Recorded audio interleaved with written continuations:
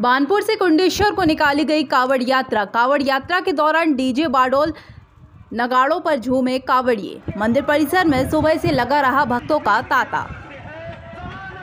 बानपुर ललितपुर, सावन माह की शिवरात्रि के पावन अवसर पर कस्बा बानपुर में श्री बजरंगगढ़ मंदिर से माता मंदिर से कावड़ यात्रा मध्य प्रदेश के जिला टीकमगढ़ में स्थित अद्भुत मंदिर कुंडेश्वर को निकाली गई।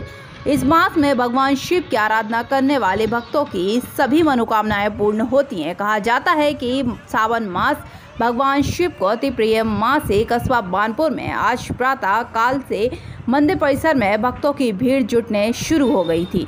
पूरे कस्बा में धर्ममय वातावरण को गया। सुबह से ही चारों ओर जय शिव शंकर, जय शिव शंकर कर नारे लग रहे थे। कावड़ी डीजे ढोल नगाड़ों की धुन पर नृत्य कर रहे थे। तत्पश्चात सभी ने बानपुर से कुंडेश्वर के लिए प्रस्थान किया। बानपुर से मनोज नामदेव की रिपोर्ट।